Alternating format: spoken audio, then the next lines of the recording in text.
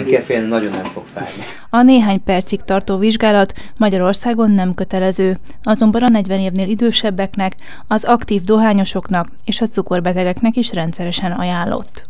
A melkasról egy speciális röntgenfelvételt készítenek, a képeken pedig az eltéréseket vizsgálják.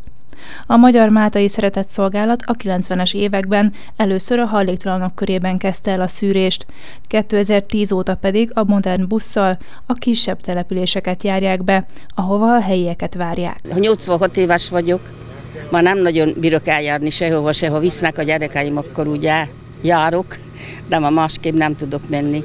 Hát ide azért jöttem el, hogy helyben van. A bajai járásban a héten Dávodon, Garán, Csátalján és Nagybaracskán is járt a mobil szűrőállomás.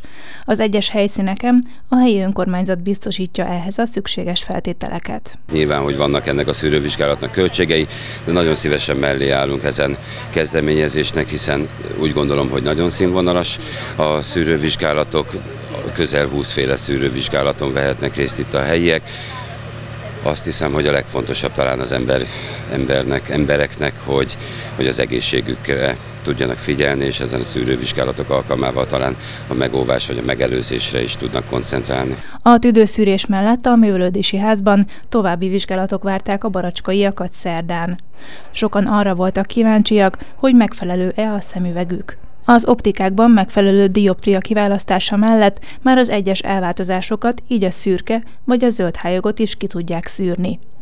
A látszerés szerint gyakori tévhit, hogy a szemüvegtől elkényelmesedik a szem. A hunyorgással sok mindent ö- csalunk a saját szemünkkel, hiszen ahogy hunyorgunk, élesítünk a látásunkon, viszont sajnos nem a szemünkkel, hanem az agyunkkal látunk, tehát hosszú távon ez nem lesz megoldás. Elképzelhető, hogy egy 35 és 45 év között még ezt az ember meg tudja oldani, de 45 fölött ez már nem fog működni. Az olvasó szemüvegre szintén ugyanúgy, egy ideig még a kezünk nyúlik, de egy idő után már ő sem. A Mátai Szeretett Szolgálat állandó partnere a Bajai Kórház egészségfejlesztési irodája, valamint a Bácskaiak Egymásért Közhasznú Egyesület is.